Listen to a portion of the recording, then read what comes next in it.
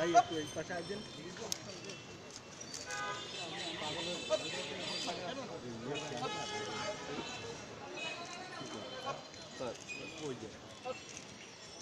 একটু পিছনে সত্যি বললাম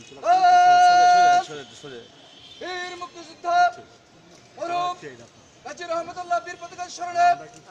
এক মিনিট নিরাপত্তা